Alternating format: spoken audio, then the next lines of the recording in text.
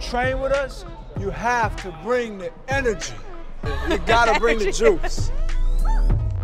What's up, you guys? I'm Rachel DeMita here with another episode of Out of Breath. And we are in Long Island, New York to show you guys all the hard work that goes into being an NBA athlete.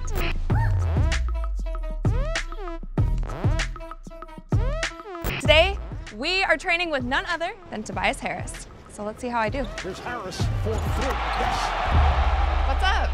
It's good. Good to see you. Good to see you. Welcome. All right, so we're working out today. I'm a little bit nervous. Nah, you shouldn't be nervous. Okay. You're gonna be good. We got some company because I train in the summers with my siblings, so they're all here, and um, let's get this working. So let's meet them. Let's do it.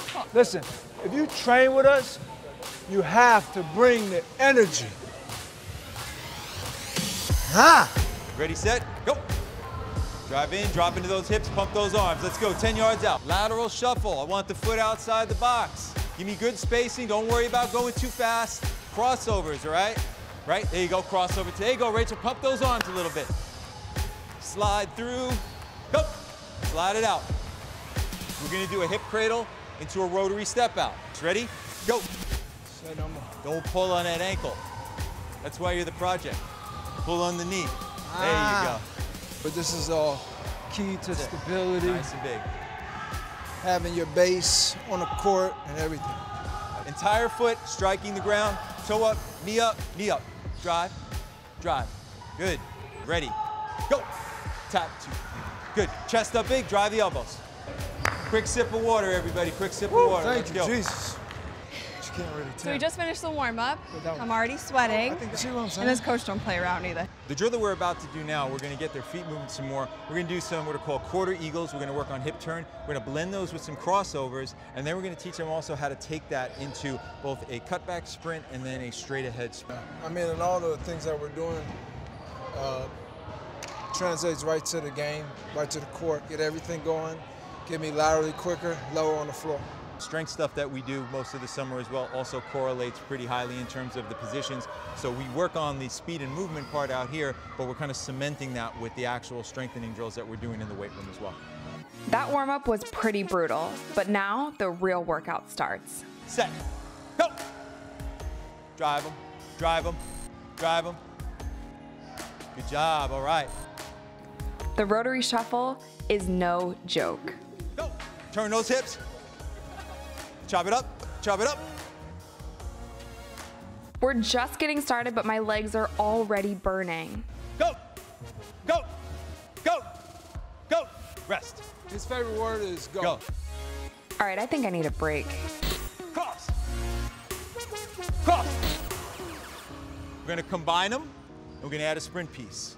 You got this. Down low, athletic ready. Set. Go. Cross. Good. Yep, Oh, there we go. There we go. There we go. Good crossover. Good punch cut release. Sell me the quarter eagle one. Then what I just did was perfect. And he'd be like, nope, wasn't good. But is that better for you? That's better. Yeah. It's time to ramp this thing up with some band work. Go. Drop them. Good. Out. Come on. Drop them. Good. All right, I'm getting the hang of this now. Go. Drop. And back. Good. Attack. And drop. Chop and drop. No big strides. Chop and drop. Let's go. I feel like I'm getting into the swing of it a little bit more. Yeah. At first, I was like, well, He threw you What's into going the on? fire. ASAP. Yeah. Bang. I was like, dang, Mike, di- directions, instructions? We're losing the bands now and have to hit these angles hard. Get set. Go. Arms. Good angles. Good angles. Turn them. There we go. Come on, team. Shuffle, shuffle, shuffle, shuffle, shuffle. There it is. Thank you. You know what? I'm gonna be honest. Those are tough. Mike, he on me. My shoelaces untied, he on me. But just being able to stay low and do those type of things. Anything that requires me getting all the way down are the toughest things, but it's the best thing for me. The drop step looks easy, but it's not. And it's super important in basketball. Nobody was saying nothing. Y'all made me look like I was doing it wrong.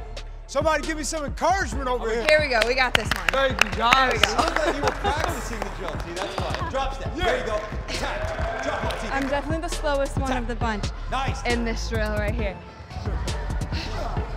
Go! Let's go, Tori. You guys know what you're doing now. Go!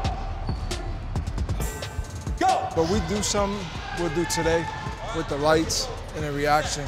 It all comes into the game is being able to react because you know, in the NBA, guys is coming at you super fast. First time trying this reaction drill. It's intimidating.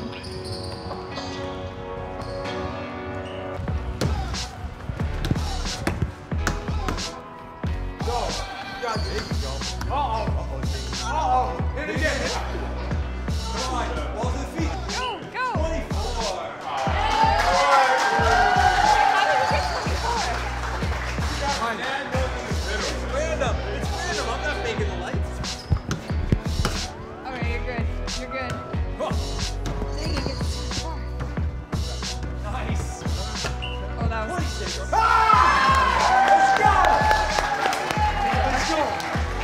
So, after every workout, we breathe. I don't know what my crew is doing right now. Can't leave them alone. Look at this. You did great. Thank you. You did great. It feels like a very basketball specific workout. These are like things that specifically myself and Mike have kind of locked in on. And I remember I called them after the playoffs was over. I was like, look, I got to get better at these type of things. And he was like, look, if you can be here consistent all throughout the summer, you know, we make a lot of progress. So I've definitely been seeing the progress. And it's uh, days like this are competitive and fun. So those are always a good, good aspect of the training. Do you always train essentially like in your hometown? since my rookie off season. Just to be able to be with all of us together and do it has been huge for me. All right.